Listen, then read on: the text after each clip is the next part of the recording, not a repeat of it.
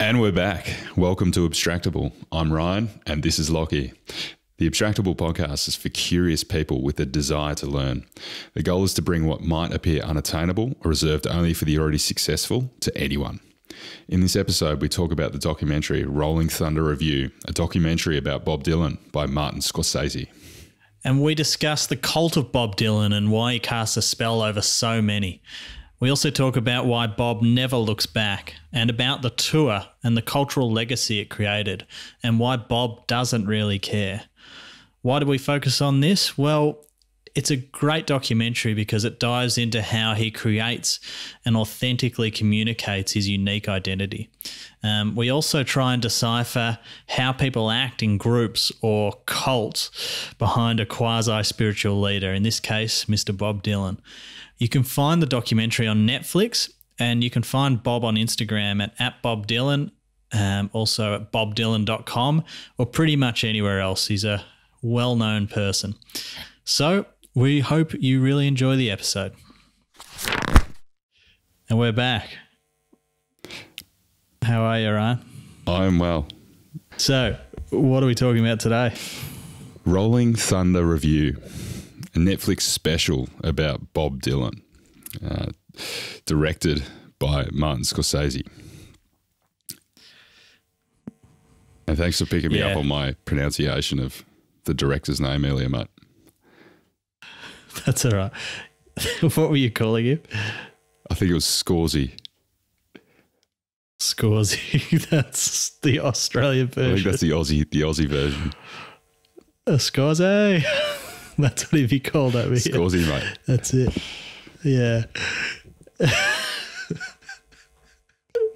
Glad, I'm That's glad to see you get a actually. I laugh out of that, mate. So, Yeah. were you, were thank you, a, were you a fan of Dylan? Not really. Um, I was always aware of him because my uh, one of my best mates, Jimmy, his dad, who I lived n- n- nearby, was obsessed with Bob Dylan. So uh, I was always aware of him, but I never really understood it, got it, was very interested, which might actually make this an interesting episode because we're kind of both coming to Dylan for some of the first times in a real way um, because people are obsessed with Bob Dylan and perhaps we can bring an amateur's perspective or a fresh eyes.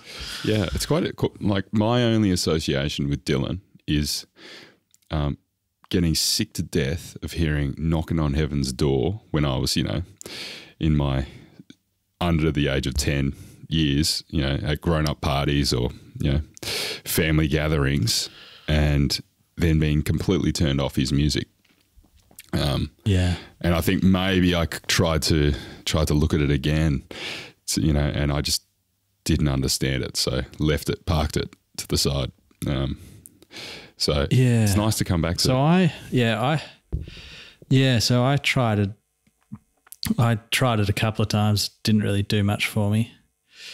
Uh, and then, a f- probably five years ago, I started listening to his um, a few of his albums, uh, and it just it's emotional music. It's almost hard. Like I actually found it a little bit hard to listen to in some instances because and then I kind of it kind of struck a chord with me. And it's a bit like watching this documentary. The reason I really wanted to do this as an episode was that I feel like I don't really actually understand what this documentary is actually about or what he is about. I don't understand him. And there's something very enigmatic about watching this. And um, I watched it on a plane, which is usually when you're I'm a bit sleep deprived and it would had I was kind going to ask, were you it's like a trance or something, almost. Because throughout the documentary, there's like long uh, clips of him in concert, and essentially the just for context, the doco's about a tour that Bob uh, did with a group of musicians in the seventies. Um, broadly, uh, what it's actually about, we can discuss, but that's the subject matter. Uh, and it's directed by, yeah, like you said, Scorsese, Scorza. uh, who's pretty pretty handy. He's got a few good films under the belt, so it'll be interesting to talk about this. Yeah. Well, the, the most interesting thing for me in digging into the film a little bit is uh, Scorsese, with his artistic license, um, appears to have actually created some fictional narratives throughout the actual documentary.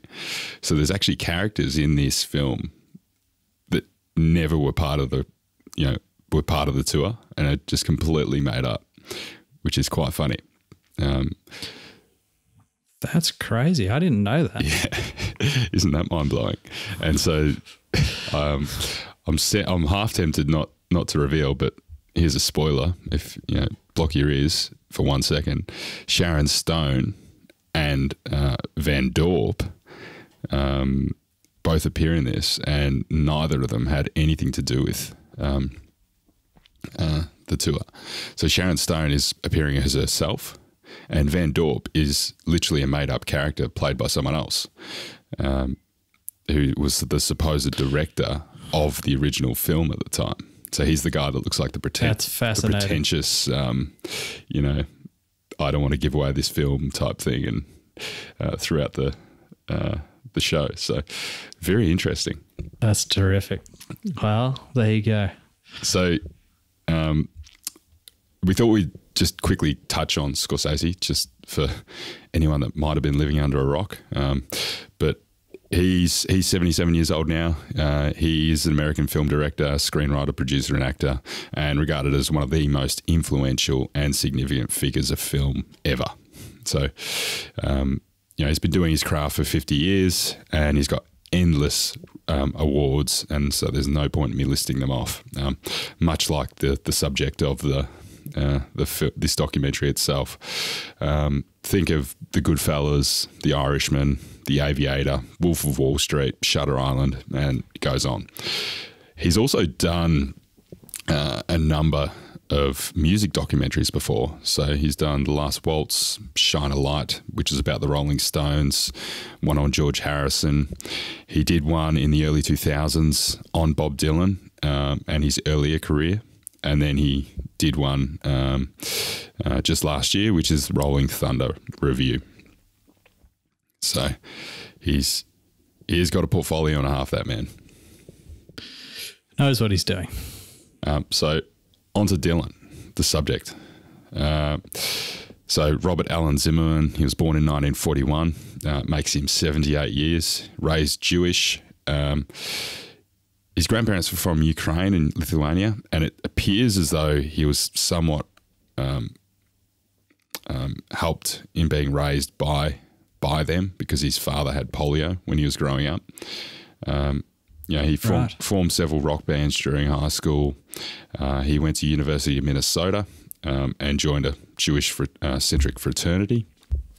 Um, but this was kind of a, a coming of age for him uh, because he decided that um, uh, the rock that he had been playing as part of his high school band um, wasn't serious enough uh, and didn't reflect uh, life in a realistic way.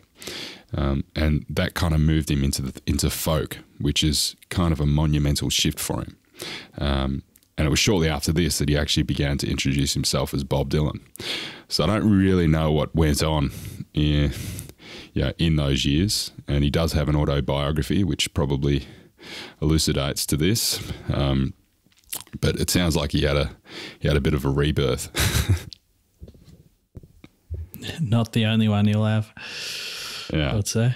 Um, so why why Bob Dylan? Uh, it was inspired by Dylan Thomas, um, which um, was someone that he looked up to uh, at the time, and he says, "You're born, you know, the wrong names, wrong parents. I mean, that happens. You call yourself what you want to call yourself. This is the land of the free." and so. Um, it, it, that kind of summarizes his entire character in one sentence, I think, um, which is great. Yeah. Uh, so he dropped out after his first year of uni um, and started, you know, playing more and more gigs. uh, and he started meeting musicians and semi-renowned um, or f- even famous musicians um, uh, or even other artists. Um, and he said upon meeting uh, Woody Guthrie that he would be his greatest disciple. Um, who was an, an Woody Guthrie said that, or no, no. Bob? Dylan said you know, that was his that was his mission. right? 61, he had his first radio performance um, where he played the harmonica uh, for a folk singer. And that obviously started generating some, some popularity. And, and then he, shortly after, uh, got signed to Columbia Records.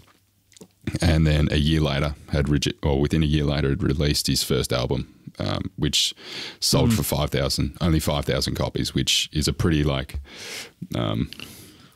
at the time, I think just broke even, which is Yeah, you the, having a copy of one of those now would be worth something, I'd say.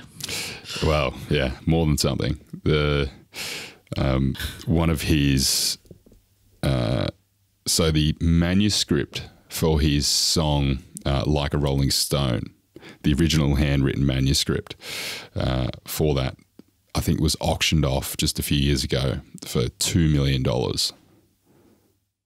Jeez. like a couple of bits of paper. It's insane.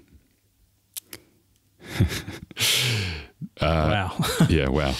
Uh, so he he during this time he was you know he was a theme throughout his entire career is this collaboration and meeting people and um, trying lots of different things, experimenting, and so he he used a lot of different pseudonyms um, to to build his own brand during this time, and he um, uh, also um, played lots of different instruments for different people, um, as well as producing his own stuff. So in 1963, uh, he appeared on the Ed Sullivan Show, uh, but walked out because they implied that he couldn't play one of his politically inclined songs. So this is really him starting to come into the public light and showing his, you know, that raw nature, the raw Dylan. Um, but end of end of 1963, and we've skipped a lot here um, already um, because the 60s were massive for him. He He's got such a deep history, right? He's ah, just there's too much, too too much to cover. you could do f- ten episodes on his bio, you know. Yeah. Well, his his his own autobiography he released, you know, multiple volumes of, which is a sign that there's a lot going on, a lot to cover. um, so he, by the end of 1963, actually felt like you know he'd been somewhat manipulated and constrained by the by the name he created within the folk and protesting activist name for himself. So, um, in in 1965, um, or by 1965, he'd released his first album with electrical instruments, and this included the song "Mr. Tambourine Man," um, which is another one of his massive hits. Uh, and so that, yeah, at the time, electrical instruments, and even even now, I'm sure uh, I'm not too heavily engrossed in the in the folk the folk industry, but I think it's pretty frowned upon to be um, to be playing electrical instruments in in, in folk. So, yeah. so he he actually um, he'd headlined it um, in 1963 and 1964, I think, at the Newport Folk Festival, right? And so he'd gained. You know, this is during his really big growth and you know this upsurge in in following. And 1965, he decided it was a good idea to to mix mix in the electric. So he performed at a, a full electric performance at that festival, and um, I think I think he only played three songs, um, and then there was all this booing, there was some cheering. It was a a Right. real you know melting pot of of Con- perspectives. it was a controversial thing to do. yeah, Right. there's different perspectives on what really happened, and you know, was he booed off stage or did they just not have enough time? But I, you know, I think the crux of it is, I think the booing probably would have, he just would have said, "Don't worry about it. I'll move. I'll move on. So, um, like a Rolling Stone was produced, I think, in the same year, uh, which has been regarded as the greatest song of all time on many occasions. Which is that's a that's a pretty big accolade. There's been a few songs that is not not a bad effort. He, yeah, it really started a, almost a movement. That song, right? Yeah, it did. I know the Rolling Stones and the Rolling Stone magazine um, rave about it endlessly. Um, and I think, you know, as I said, quite often appears in, in their own top lists of, you know, greatest songs ever made. Um, it just might have, must have had just a monumental shift on the way music was, you know, perceived for that time.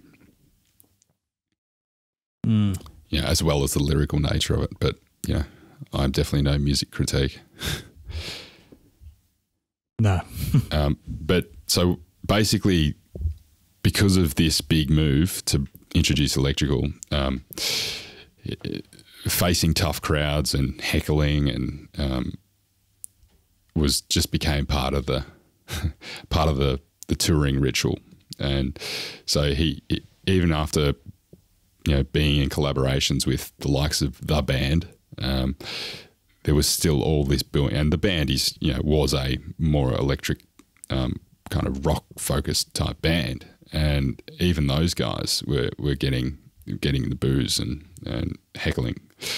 So um, he did get married shortly after to Sarah um, Lownds, and 1966 he toured Australia and the EU, um, and did basically half and half, so um, electric and acoustic. Uh, again, tons of heckling, tons of confrontation, and massive drug problem just to just to go with it all, um, to, which was you know to get him Right. through the tour. Now this was this was really interesting because he had a he had a uh, a bad motorcycle accident, and it's it's very unclear as to how bad that motorcycle accident actually was. He said, you know, he broke a few verte- vertebrae, but apparently he never went to hospital.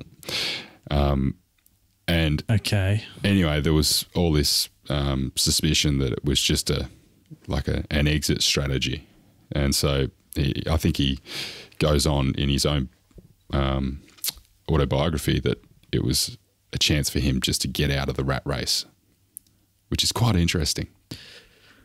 Yeah, he sounds like he had the weight of the world on him at that point. I mean, even for someone as free spirited as him, it must be hard to go that against the grain.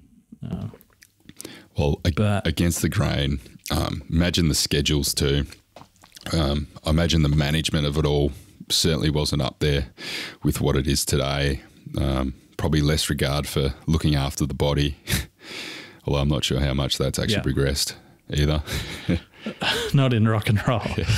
Uh, yeah, well, and it sounds like it's interesting because after that, this tour that he did, the Rolling Thunder Revue, was quite the opposite of um, a heavily managed stadium tour. You know, yeah, this was a a much uh, a much cool, calm, and collected tour. It it actually wasn't a commercial commercial financial success. Um, no, and they talk about this in the documentary. Uh, but Dylan, I think Dylan actually says himself, yeah, it financially wasn't a success. But if that's your measure of success, then, um, yeah, that's to your own detriment.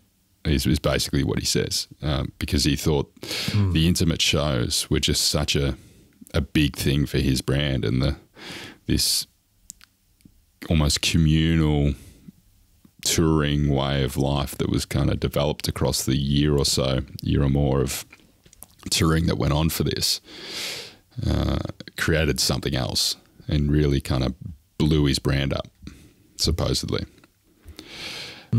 Um, as I said, mentioned earlier, there's way too much to cover since the 60s, but he's done endless tours, endless writing, endless producing, art, awards, and then all the uh, controversial receptions and, you know, fame and glory. So he's had some big collabs, though, with, you know, Elton John, George Harrison, Eric Clapton, Mark Knopfler, um, Willie Nelson, Slash from Guns N' Roses. Um, Just everyone that you know, everyone would love to work with him. Obviously, Yeah, and and there's so many more too. Yeah, they were just to pull a few that I plucked out. Uh, so just ridiculously iconic, generation changing, you know, talent that is just such an interesting person. Um, that is just it's just a mystery. This guy. yeah, seventy five. Um, He he actually started using this. Um, he was always politically active, but he the song Hurricane was actually was written about the champion boxer Rubin Hurricane Carter, who was falsely imprisoned for triple murder, and uh, this certainly fell under the um, you know the racial discrimination bracket um, back then, and he that whole song was purely written to create a movement to get him you know uh, uh, acquitted and you know you know, retrialed basically, and that's what happened, and he got released, which is pretty incredible because that also set a bit of a precedence uh, for things moving forward and helped that that that you know that movement itself. 1988, Yeah. Rock and Roll Hall of Fame. Um, Bruce Springsteen introducing it said, Bob freed your mind the way Elvis freed your body. he showed us that just because music was innately physical did not mean it was anti intellectual. Uh, 1997, yeah, he was hospitalized with a life threatening heart condition. and he actually, he genuinely thought he might. He might die, and a lot of people, you know, the doctors and everything did too. Uh, but he made a speedy recovery, and uh, that's you know by middle of that year he was back touring and performed in front of John Paul II, the Pope, at the World Eucharist Conference. So um, he was he was straight back into it. yeah, got back on the horse. Yeah, seriously. Legal opinion study in 2007 revealed that he was the most quoted songwriter by judges and lawyers. Um, but, you know, 186 versus 74 in second place for the Beatles, which is that's that's very cool. Um, you know, being That's being quoted in the courts Really cool. in cases. Uh, and he's done lots of stuff since then. So, you know, lots of awards 2012 Presidential Medal of Freedom from Obama. Um, and as I mentioned, the the handwritten note. So he's released 38 studio albums, 91 singles across his, his time so far. Um, I don't think he's gone dormant yet. Um, and over 100 million records Apparently, his stuff's yeah. Apparently, stuff's took a massive dive in the you know, like he could barely sing you know, for a while there. His voice is completely different. It's really just raspy now, and but apparently, stuff over the last few albums gotten quite a lot better again. So, um, but he never stopped. He just He's always Never, experimenting, you know. He's always trying these new things. I, I had to listen to a few different albums last night, just across the the years, and they're all so different. Like moving from like jazz into folk, into you know, more electrical stuff, into you know, there's grungier things in there. You know, always with this kind of poetic, you know, lyrical elements and um, the kind of folkiness to them, but crazy. So, I think what does what the hell's this documentary about? Well, We pulled a couple of things out of it. I was I was I was going to say, mate, there's there's a really interesting opening scene. Uh, do you remember the opening scene? Uh, it's like a black and white weird old movie, isn't it, or something like that? Is that right? Yeah, correct. Which is the there's like a magician, and so there's a lady sitting on a seat, and she he pulls the the sheet over her, and then you can see this like cut in the footage. Like it's a very obvious cut in this, you know, old school footage. Um, the woman disappears, and then two seconds later reappears as you know, and that's the magic trick. Um, and I wondered what that kind of was implying across the entire nature of this whole film. You know, is it all act? Is it not an act? You know, what the authenticity to it? And I, it got it got me thinking about the character of Dylan, and and mm. you know, he had a lot of famous, you know, infamous um, uh, things that he did, and the way he presented himself and showed himself uh, through his performances. Um, but I just I can't see how he could do what he has done without being that being the real thing, the real deal, you know? Mm. Oh yeah, I mean, he's obsessed by music. You know, it's, it's his one life purpose. So I think it's hard to go past that. He's in, incredibly dedicated to. But I think, from what I could tell, he was really dedicated to the the poetry of the music. You know, like um, when I was watching him play, I play some guitar and I've tried to play a few of his songs, and they're not technically very difficult songs to play. Um, a lot of them, some of them are, but it's really in the words that is the magic of Bob Dylan, I think. Uh, and I don't want this to dive divulge into our uh, critic of amateur critic of his music. It's more around. I think there's a couple of things about this film that just really stuck out that are worth discussing around what does this tour actually mean and what was it like to be in that kind of environment that they created. Um, what is this magic of Dylan and what's all the symbolism going on with him? And then why is he so special? Like, what does he do and what can you learn from that? Um, like what is the enigma of him and how does he act and those sort of things yeah so well how about how about um, you know for those that aren't aware just it's very easy to pull up a picture um, of him in performance but you know it's the the white painted face or mask um, that he's known for and the you know the kind of akubra like hat um, with the floral arrangement on the side. Um, that's you know they're they're definitely standouts in terms of his character and part of that stage routine. You know, particularly for this role. C- certainly in the, just in yeah in this period mm-hmm. for sure. Yeah, yeah, that was that was the the the enigma of this time, this character. Yeah, and it looked pretty cool. I thought I liked it. So did I. Um, at, at mm. I think I think at first first glance you kind of because I, I I genuinely I'm sure I'd seen it, but I I hadn't really you know looked at it properly until seeing this documentary.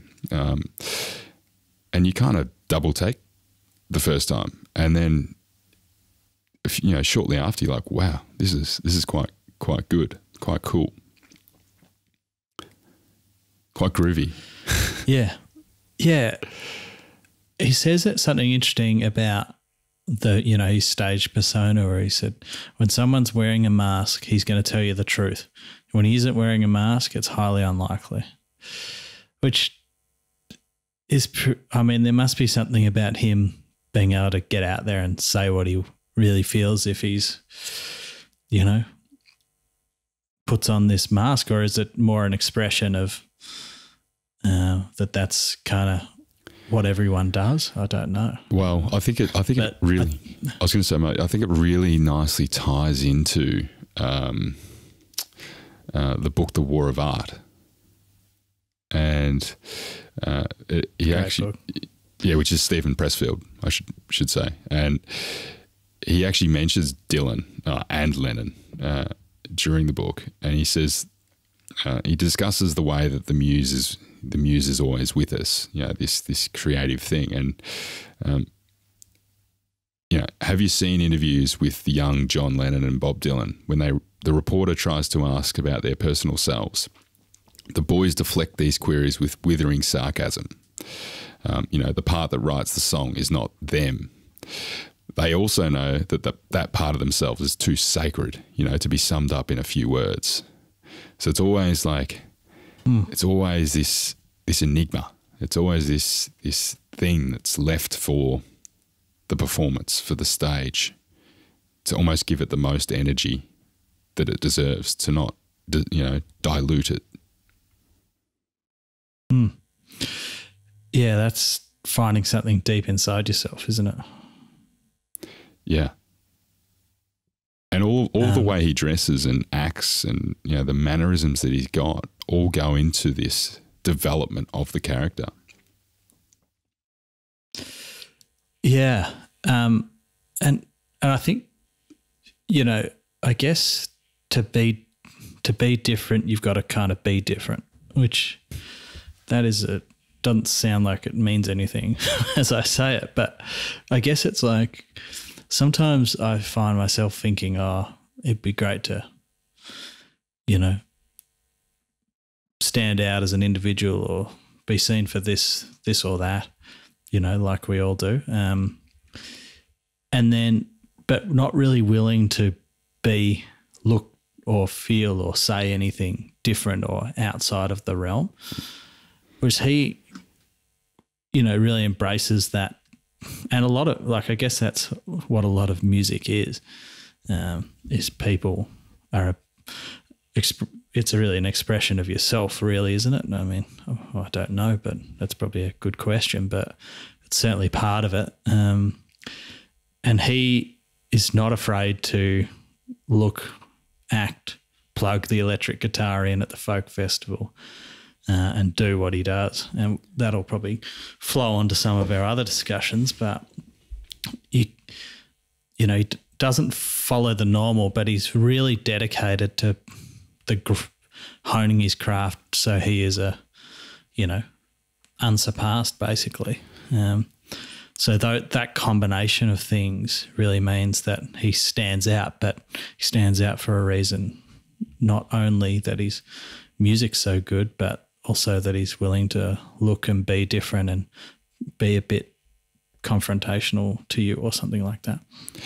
Yeah. Shock the senses. He do you, do you think it's do you think it's like to be different or do you think it's more a shining of his authenticity?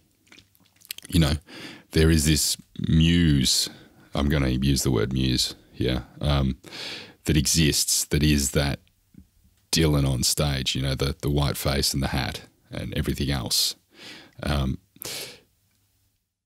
and but do you think that that what you see and what you feel and what you hear and everything else is all just it's this authentic it's his he's trying to get as authentic as he can to what it is that that whatever's trying to come out in him in that craft i think i think it's an authentic expression of whatever he's trying to express. You know, he might be trying to express a certain feeling or emotion or story, but I don't think it's like necessarily him at his core, right? It's a show. Uh, but it's a show to express something about him or something like that. You know, like 100%. I think you've you hit know, the nail on the head, mate. I think you've hit the nail on the head because, yeah. and that, that exactly ties in right. into Pressfield, what Pressfield said. Um, well, good. Let's wrap it up. Show done. Show finished. uh, uh, so, nice quote, which I, you and I both pulled out for this episode. Uh, life isn't about finding yourself or finding anything. Life's about creating yourself and creating things. And there's something really nice about it. Given us a little bit more pizzazz, a bit more you passion in that one, mate. well, all right. Well, you do it. no, no, you've done it now. We don't want to dilute the. Uh, dilute I've ruined the, it already. The best. Uh, yeah, the best quote of the whole episode's just been massacred. Um, but there's something really nice about that because it kind of gives you agency to find your own life, right? Um, or create your own life, as he says. Um, not this kind of search in the dark for yourself. There's a latency. There's a there's like a heaviness about finding yourself somewhere, and there's just you're going to find it, and it is what it is. You know. Is that what you kind of take from that? Hundred percent. Yeah. He I think this is part of building that real charisma that he had. You know, and um, I think that charisma that he had came from the authenticity of who he's being and because of what he's trying to create. Um, mm. And it kind of shines its way all the way through. Uh, that yeah, that was a that was such a such a nice quote. Um, pulling that one out. Mm. So, I my, one of my main takeaways from this episode, from this episode, from this uh, documentary, um, was that he just doesn't ever look. He's in constant motion. He doesn't look back. He's always, always, always doing, moving forward. You know, creating himself or creating something because he doesn't even seem to be able to be pinned down for a conversation almost yeah and if and if he is pinned down for a conversation. Did you notice that? Well yeah. I mean it is a documentary but he i've i've actually heard that um, when he is pinned down for a conversation you're not going to get much about him out of it. There's going to be very little revealed. You might get some sort of, um, you know, deflected answer or some sort of, um, you know, lyrical response that you need to then go away and digest as to what the hell that means. Um, he seemed even he seemed pretty squeamish, even just to sit down and get interviewed for this movie. Yeah, there was only snippets, wasn't there?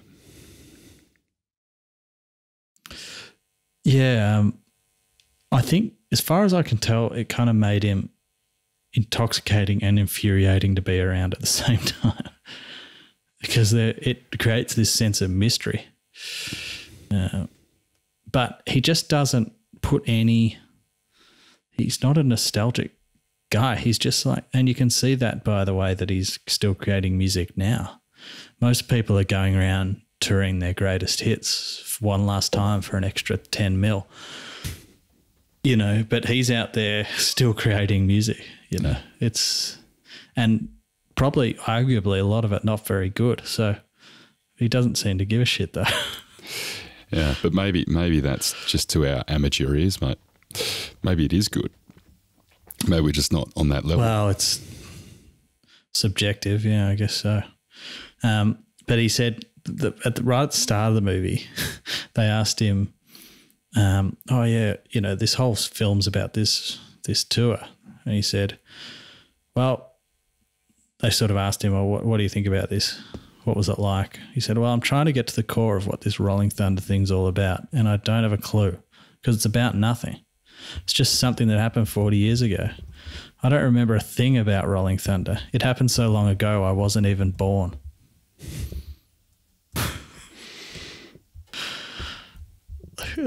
so this is kind of his attitude, and he, whether that's put on or not, I don't know. I'd get the feeling from his actions it's not put on.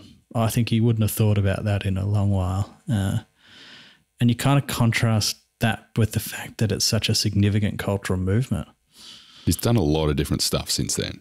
You know, He's, a lot's happened since True. since that since that tour. Like so it's it has to be has to be true. But he almost when he said that, it, it was just like it sounded like him looking back on his you know naive teenage self. And he's just like, yeah, it was just some some guy, you know, some some naive self, you know, many years ago. I've grown up a lot since then. Is kind of what I, the way I've interpreted it. Yeah, I think that's probably that's probably the way I take it to a point too. But I, I also feel like I got the feeling that it didn't matter to him. really. Yeah, he just showed up every time, every day, did his thing, and kept moving on to the next one, and kept creating, kept honing. Yeah. And like this is a this is a tour where you know there's pictures in this um, documentary where people after the the concerts are just crying. It's so moving. what the fuck's going on in this thing? It's crazy. Well, I think it's a. It's, But for most people, sorry, mate, you go. I was going uh, the. it- There's a real energy that develops, you know, between the crowd and him, um, which which we'll get onto in a tick. But I, you know, I, I was trying to really engage myself in the in the in the film as it was going through. Just you know, trying to, particularly after you, because you hear things of how you know how exhilarating the performance is, or you know how involved the crowd is, and how emotional they get, and so you kind of just sit there and because there's a lot of you know a lot of just performance throughout the show. Um, a lot of it was you know, and for someone that's not into folk, it was it was quite interesting. I, I quite enjoyed it. It sucked. Yeah, it caught me. Definitely. I, I wouldn't say I'm a big fan of that type of music. Um, but for most people, like an experience of the past is it compounds over time. So gets more important over time, like the memories you have or um whether it be, you know, thinking of a time where you, you saw a you spent some precious time with someone who's no longer with us, or you went and saw your favourite, you saw Messi kick a goal at the World Cup final. You know that that sticks with you and it gets more precious, or you know the two million dollar handwritten note, right? Um, but mostly it seems that doesn't necessarily apply to him because he's he's kind of on the move. And I, I pulled out another quote on this point where they interviewed uh, Hurricane Carter, as you mentioned, that he wrote that song about. And he says, Every time I see him, I ask, Have you found it yet, Bob? And Bob says, Yeah, I've, yeah, I found it. But I know he hasn't because he keeps on searching for it. So- And then and then he goes on to say, um, uh, "No, you haven't. You're still searching, Bob." Yes. so what are you searching for? And he says, uh, um, "The Holy Grail." um, I'll let you know when I've found Sir Galdolf or you know, whatever it is. Sir Galahad, sorry. um, there you go. yeah, I, I the what you said before was quite interesting.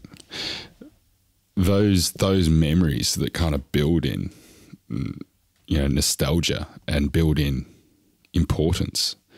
Um, they're only ones that really hit emotional peaks for you. And so, when uh, when you're um, at a concert, in particular, or you're in a big crowd of people that is really getting involved. You know, there's a lot of energy there um, in something. There's there's you you can't do anything but get involved. You know, like Yeah. there's something something there that happens, and you just feel the energy in yourself, and you, you get really you know excited about what's going on, and so that kind of sets just that alone sets a baseline, and you know because of the hype that was there, you know there was a massive hype. He had a massive following and like a passionate, true fan following. Um, you know, to the point of being a cult, really. Um, at least what was portrayed in this. And just setting, just coming into that with some fresh eyes, with all the hype, coming into that with with all these fans sitting there, you're you're you know you're already hit almost hitting that without doing anything. you know, without actually enjoying the music, you're almost mm. already hitting that emotional peak for something to look back on Just through the atmosphere. just through the atmosphere of Yeah. it. So I imagine that has a big influence on it. So you hit on an interesting point. Perhaps it's worth talking about the greater ecosystem that he created on this tour. So it wasn't just him rolling around with a kind of backup singers or a band or what have you. It was a group of talented, very, very talented musicians kind of cobbling together, right? Yeah, it doesn't just um, the there isn't just the the character of, of Dylan himself. The it's beyond that. There was this whole ecosystem which the character was, you know, interacting with and living and breathing it. You know, he was living and breathing what it was all all that his craft was about. Um, you know, they were always talking to one another in these, you know, almost like this code is the way I felt it. Um, I think Patti Smith was speaking at one point in time, um, and I think she's actually somewhere now, but she like she just says he's like, you know, Superman takes a piece of coal in his hand, he starts squeezing it, squeezing it, and he goes on. She rambles on for a little bit longer, and then she says, after years and years of kids kicking around, it becomes smooth. You know, it becomes a diamond. And I was just like, and Bob's, you know, Bob's Dylan's there. He's like, yeah, I know. Yeah. and so, That's just rubbish, isn't it? well, but, but see, the thing is, maybe there's just this, you know, they're just operating on a completely different level. But, you know, they're, they're always talking in these it- metaphors. You think about like us talking just- in slang, yeah. you know? We talk in our Yeah, own it's not about the words, is it? It's about the feeling, is mm.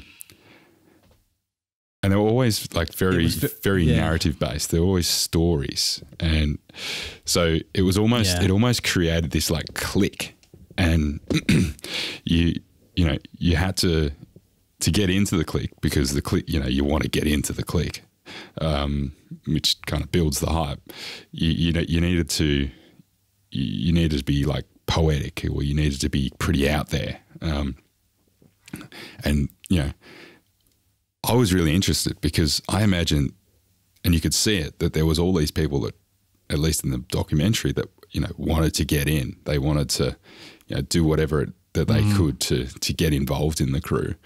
Um, but that was inauthentic, you know, like because they were they weren't being themselves. yes. But maybe Dylan actually had an eye for that, and because he did ask some people to come on the tours and things with them, because this this Rolling Revue was really like a, it's almost like a moving commune that was moving around uh, the tour. Yeah. People jumped on, jumped off. It seemed to me that they talked about him. He really uh, spent a lot of time by himself. He he seemed to really, like they kind of said, the only time we really saw Bob was when he was performing or driving the bus. Um, so I think he kept a real tight crew around him. And again, the enigma of that is that when he comes out and speaks to you, you're being spoken to by the great one or something, you know.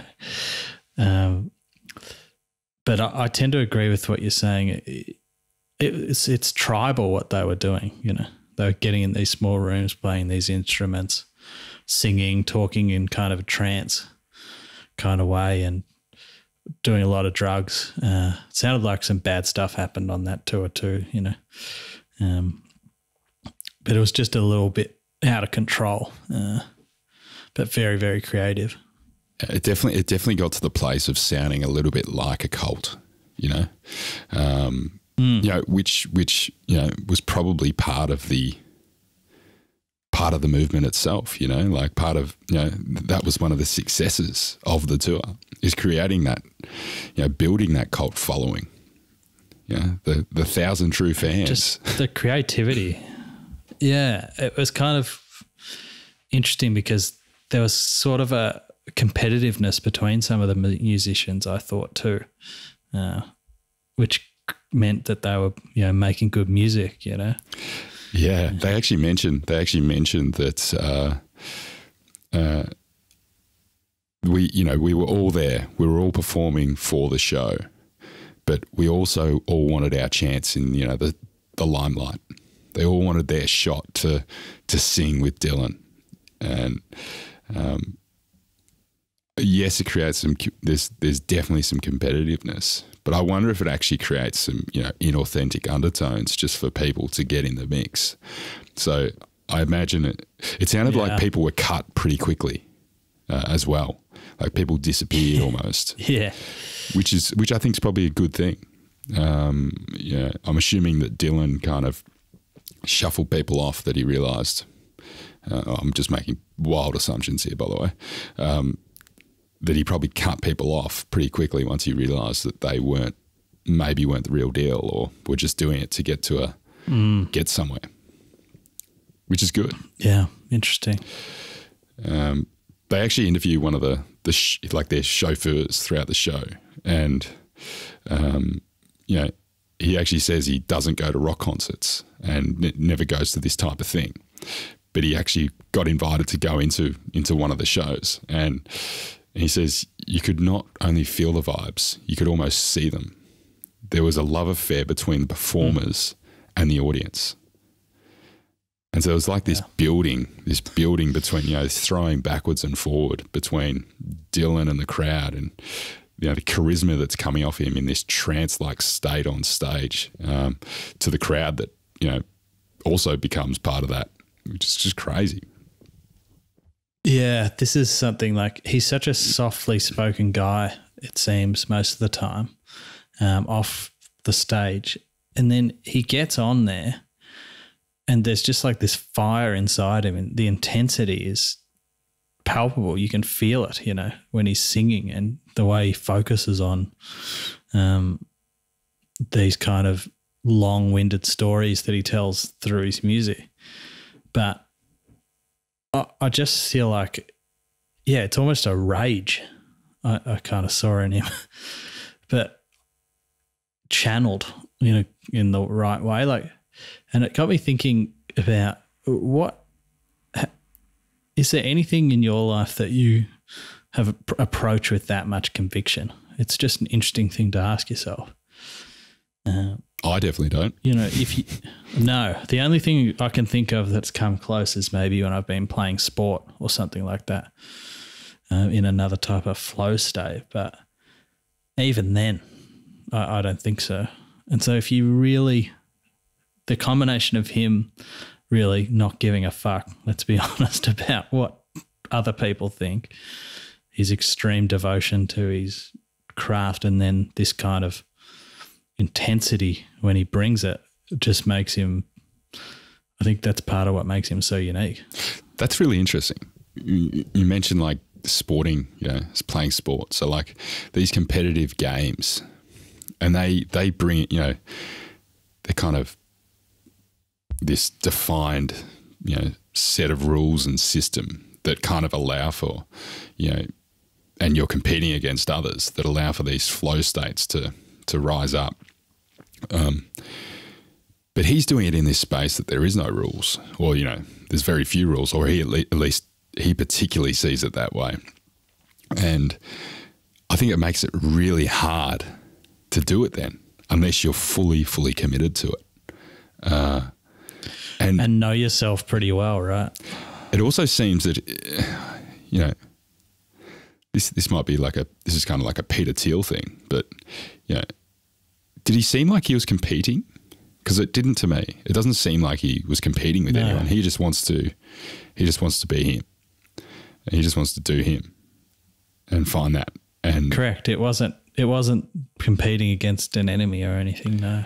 But it's like taking all the energy Just- that you get out of being in a constrained game and having competition, getting rid of both of those things, and then still having the same intensity, um, in you know, intensity of energy and devotion to it, without those two core things that generally drive uh, drive us um, in a big, big way. You, yeah, you're just in such a vulnerable, exposed state out on a stage like that, right? And okay, people loved him by then, but he was always taking these huge risks with his music. So, and you know, daring people not to love him almost, you know, with the way he was changing it up. So, there's really, you've really got to be, you've got to have the confidence to really be great and just be yourself and just to put yourself out there with that much conviction takes a lot of something. I don't know what it is, right? Well, can you imagine being so on? committed to that. Can you imagine being on stage and there's a crowd booing for a start, like at all? Just just imagine that. Mm. Um, and then there's some, you know, maybe some that are cheering, but just getting heckled, being booed on stage, and either playing through it or just fucking walking off stage. like, Yeah. that's ball. That is so like- ballsy. I know. It took a lot, a lot, a lot of time and thinking about just to put this podcast out for me, you know? Uh, like it's just different level. Um, so what what have you learnt from this, mate? What do you learn from this guy and seeing him in this this the element and, and this tour? Have, have you figured out what you could take away? Um, yeah. There, there's two things, right?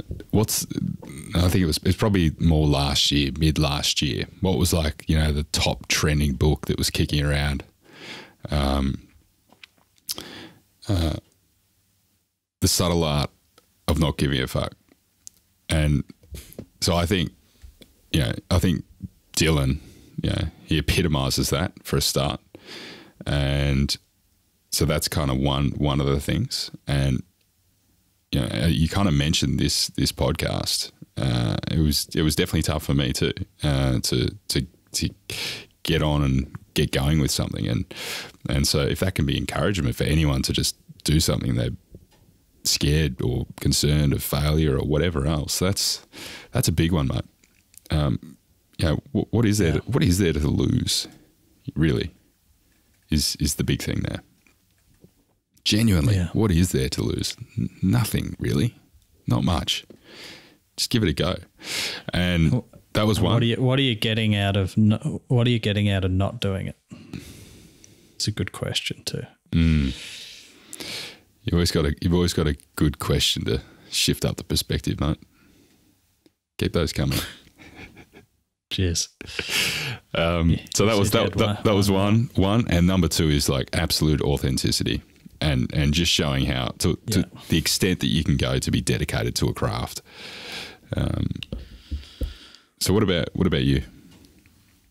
I think just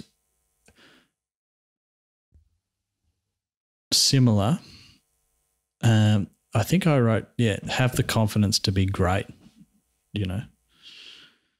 Uh, and I want to try and find a way to bring that fire to the things that I do, you know, and really bring that, not be too scared to bring total energy to something because it makes you look silly if it doesn't work. Yeah. And bring art to what you do, you know. Yeah. And that's something for me I need to do more of is get more in touch with music and and maybe after this read some poetry or something, you know, like just I think there's there's power in that as well as just I don't know do what you really like doing. Not necessarily talking about for a job, but and just keep practicing it and keep moving. Yeah. Mm. It's pretty inspiring. Yeah, the real, the real, like build that ecosystem, ecosystem around everything you know for for for you. You know, uh, I, I love that. Um, should we It's touch? inspiring in a way that you really you really didn't want to be him, Yeah, but there's just something about it that just drew me in so much. but he was he was so he was so into it that he wouldn't be any other way. You know, he he, he Yeah, yeah. it wasn't really a choice for him. Like, Yeah, and I'm sure he it, it would cause him more pain to not have been that way. yeah, and he's human too, right? So we all have fear, etc., normal emotions, but geez, he pushed through it. Should we close out with the uh, a quote from the Oracle of Delphi, or AKA Allen Ginsberg, AKA the father figure, AKA not the father figure, depending on who you are. So who was this? So there's there's a guy throughout the entire film. For those that don't know, Allen Ginsberg, uh, he's a famous poet, and um, he seems like the guru basically throughout the entire the entire show. Um, and he has there's a few times throughout the throughout the documentary that he has a couple of um, know, says a couple of his poems. Um, fun, strangely, he, he, he was there was some poem that he did where he was talking at like an aged care home. Um, you know, with some elderly, it was just elderly ladies uh, there, and he, he was, you know, he's talking about some like pretty morbid things, and then he starts just throwing in these like like really fucking grotesque, you know, visual examples of you know like genitalia and all kinds of things, and you just see you see the crowd just being like, whoa. uh, but anyway, he was he was the guru right of the of the group, and um, everyone saw him as a father figure except for Dylan, of course, um, going the different way. And but he always, you know, he was like running meditation, you know, classes every day, and you know, he'd be he was actually quite renowned for his poetry. So he closed out the entire documentary with uh, with this one one quote. So, Lockie, do you want to do the uh, the honors, mate? You got a bit more fire in this one, though. All right, all right, I'll fire it up. You who saw it all, or saw flashes and fragments, take from us some example. Try and get yourselves together. Clean up your act. Find your community. Pick up on some kind of redemption of your own consciousness. Become more mindful of your own friends, your own work, your own proper meditation, your own proper art, your own beauty. Go out and make it for your own eternity. Thoughts? You're a poet, mate. Thanks, mate. Thanks, mate. Slightly more uh, abstract one, this one. So hope you enjoyed it. Cheers, mate.